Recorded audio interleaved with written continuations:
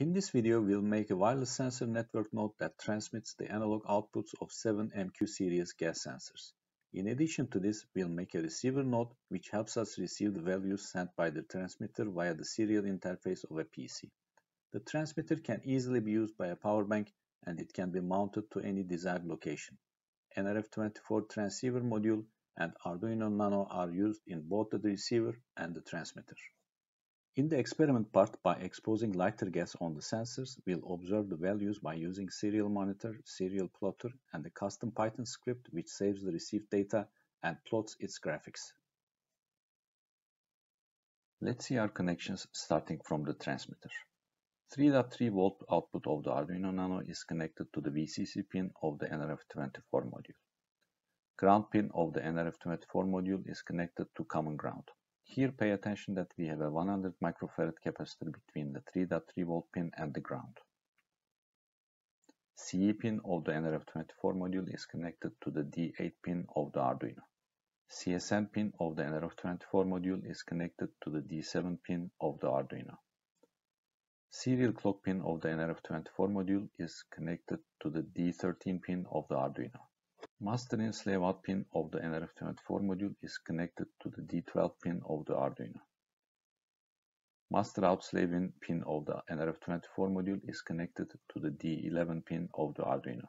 The sensor modules are connected to the analog pins. In my setup, since I had a problem doing the soldering the A2 pin, that's left blank. Seven sensor modules are connected in a row from A0 to A7 excluding A2. Here you should be aware that the 5 volt and the ground connections of the sensor modules are not shown for simplifying the diagram. Make sure that they are connected to 5 volt power supply properly. And in this setup you should connect the Arduino to the USB power separately. Now let's see the receiver module. The receiver module has exactly the same connections between the Arduino and the NRF module, and it only has the USB connection to the PC that we are going to use. The next section of the video has some time-lapse recordings of me building the transmitter module on a circuit board. If you'll do this project on a breadboard, you can skip to the next section for the code and the experiment.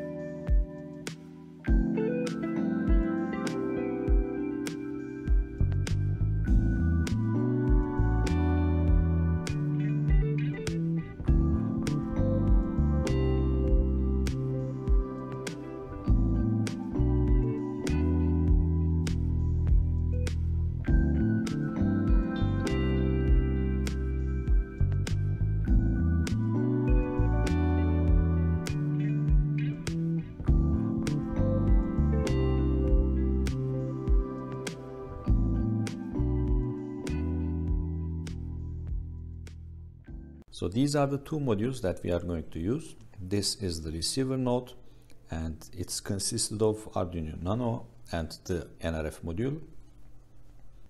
And this one is the transmitter module. You can see that it's connected to seven MQ sensors, actually sensor modules. And it has one Arduino Nano and the NRF24 module.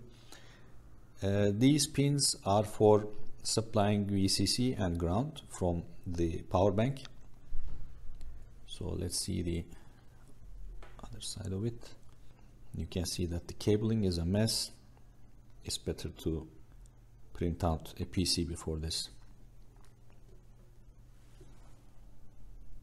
Alright, now let's take a look at our code for the receiver and the transmitter. Let's start with the receiver side. By the way, I need to mention that for the NRF part, I took the portion from the howtomechatronics.com. I have made some modifications and also uh, changed the data to be received and data to be sent.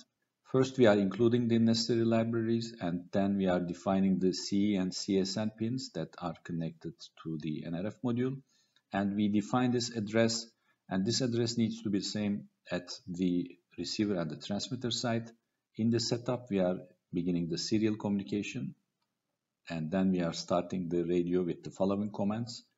And in the loop, while the radio is available, we are defining this data to receive array, which is consisted of eight elements. This eight elements is corresponding to the eight analog inputs of the transmitter side. Even though we have seven sensor modules connected, we are using all of the modules in order to make the ADC work properly.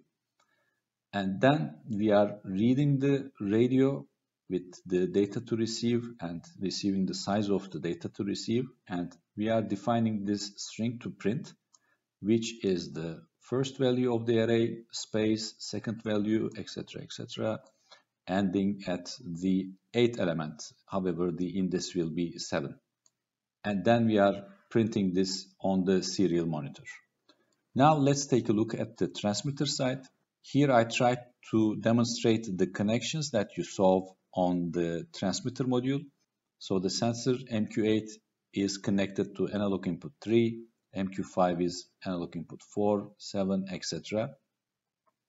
And we are again defining these libraries. We are showing the connections for the NRF module. We have the same address inserted here as well. Then we are defining these sensor pins. I showed that which sensor module they are connected to. Here you can see that we have this black pin because I could not do some soldering to the uh, A2 input. That's why we have seven sensors here. In the setup, we are uh, giving this six uh, seconds of delay. This is because uh, in order to make the sensors module uh, ready. And then we are beginning the uh, radio communication.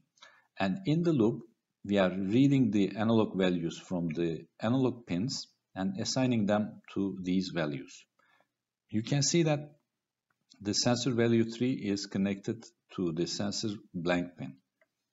And then we are defining this data to send array, which is consisted of 8 elements, and we assign these values respectively. You can see that sensor value 3, which is actually not connected to any sensor, will be seen at the end of this array. Then we do the radio write and send the data and size of that. And then we have a 10 milliseconds of delay.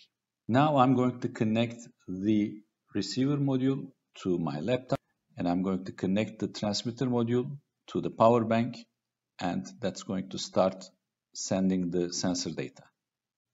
Okay, now let's first connect our receiver module to our laptop.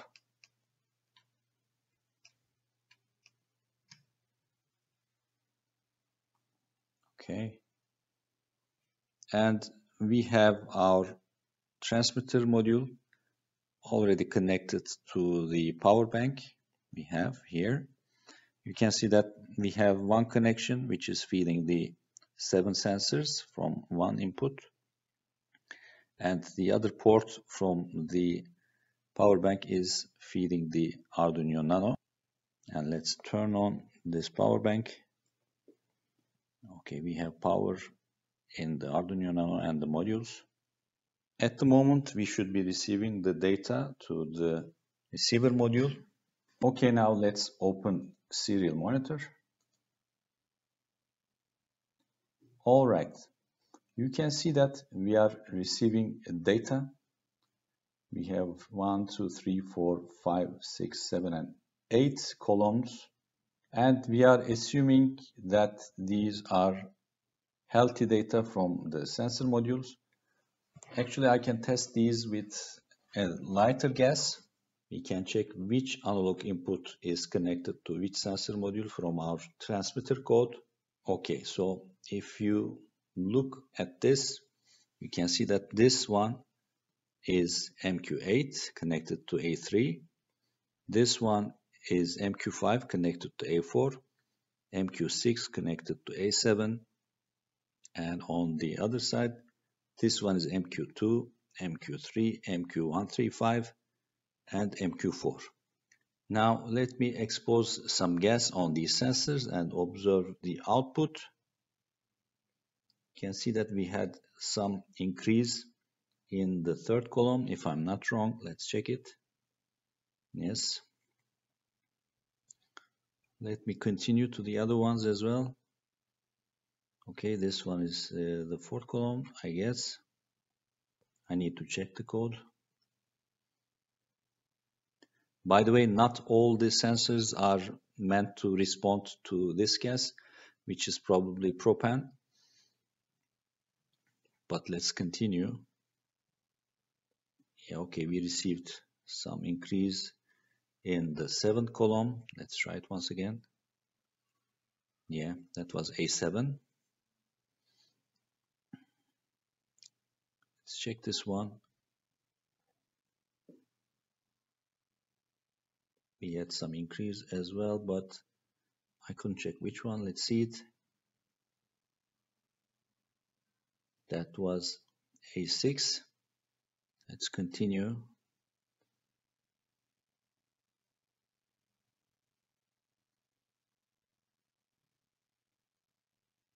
Okay, you can see the increases in the related columns. Now let's do another thing. Let's use serial plotter instead.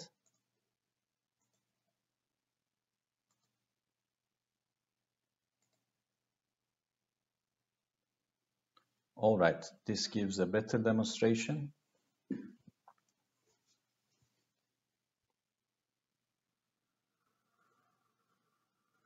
All right, you can see the increase. So both sensors are responding to it. Can see it. We have this increase.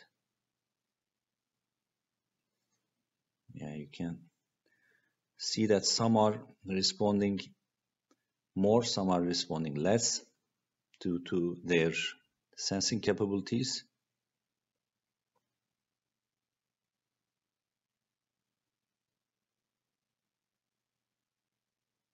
Not all of them are responding to this gas that is included in the lighter. I will demonstrate one last thing. Actually, I've written a Python code previously in order to process the data that is received from the serial port and I modified it according to these gas sensors. Let's see it. Now let's run the script that I've written. So it's asking how long it's going to take the experiment. So it's going to take those records and store it in a text file. Let's keep it short, let's say 15 seconds and let's enter to start the experiment.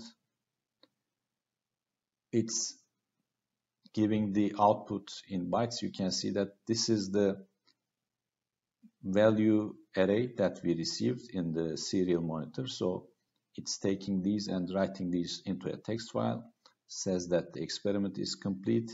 When we check the directory and let's check the time this one. So if we open this, we have our data stored in a text file, which has a unique ID in the beginning for each measurement. The date and time This is the hour. And these are the columns that we saw earlier, eight columns corresponding to eight ADC inputs from the transmitter. Now in another Python file, let's plot these values.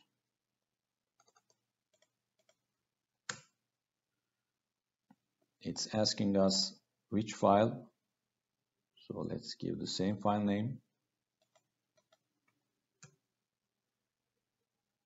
And it has plotted the output.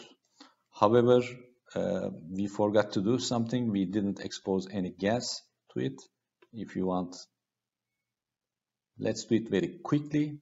So let's try it once again. Let's say again 15 seconds, for example, and start it. And let's expose some gas to these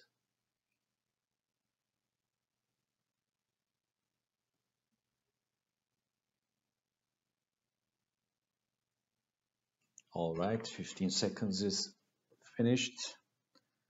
Let's see the content. Now we have this new file.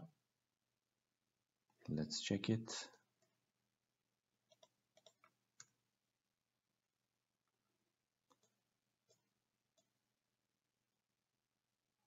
Okay, it has some increases and decreases. We can see that and let's see the plot of it.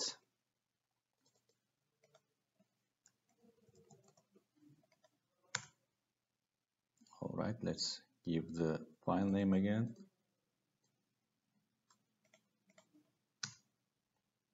Okay. You can see that we can observe the changes in the sensors. You can change the names of these it's written in my Python code so we see the responses of the sensors to the gas that we had exposed. If you want you can save this figure as well. This was the end of the video. I hope it's been useful for you. If you have any questions or comments please write them in the comment section. Thank you for watching and see you in another video